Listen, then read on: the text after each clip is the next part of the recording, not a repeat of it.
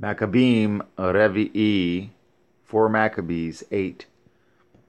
Then indeed, vehemently swayed with passion, he commanded to bring others of the adult Ivrim, and if they would eat of the unclean thing, to let them go when they had eaten. But if they objected, to torment them more grievously. The tyrant having given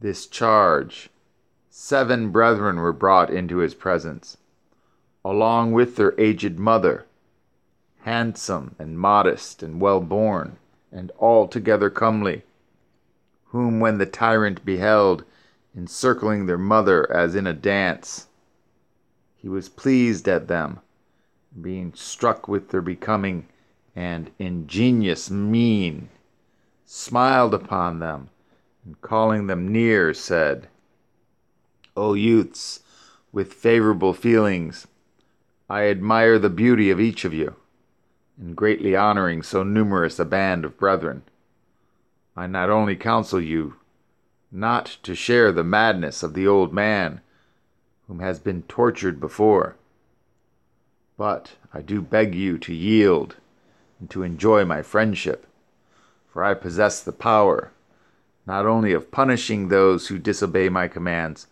but of doing good to those who obey them. Put confidence in me, then, and you shall receive places of authority in my government, if you forsake your national ordinance, and, conforming to the Yavani mode of life, after your rule, and reveal, rather revel, rather revel in youth's delights. For if you provoke me by your disobedience, you will compel me to destroy you, every one with terrible punishments by tortures. Have mercy then upon your own selves, whom I, although an enemy, compassionate for your age and comeliness.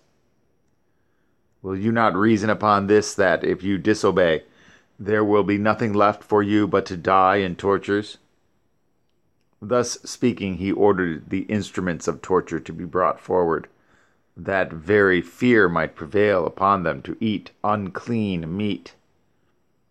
And when the spearmen brought forward the wheels, and the racks, and the hooks, and the catapults, and cauldrons, pans, and finger racks, and iron hands and wedges, and bellows, the tyrant continued, Fear, young men, and the righteousness which ye worship will be merciful to you, if you err from compulsion. Now they have, having listened to these words of persuasion, and seeing the fearful instruments, not only were not afraid, but even answered the arguments of the tyrant and through their good reasoning destroyed his power. Now let us consider the matter. Had any of them been weak spirited and cowardly among them, what reasonings would they have employed but these? O wretched that were rather, O wretched that we are, and exceeding senseless, when the king exhorts us and calls us to his bounty should we not obey him? Why do we cheer ourselves with vain counsels and venture upon a disobedience bringing death? Shall we not fear, O brethren, the instruments of torture, and weigh the threatenings of torment, and shun this vain glory and destructive pride? Let us have compassion upon our age and relent over the years of our mother. And let us bear in mind that we shall be dying as rebels. And divine justice will pardon us if we fear the king through necessity. Why withdraw ourselves from a most sweet life and deprive ourselves of this pleasant world? Let us not oppose necessity, nor seek vain glory by our own excruciation. The Torah itself is not forward to put us to death, if we dread torture?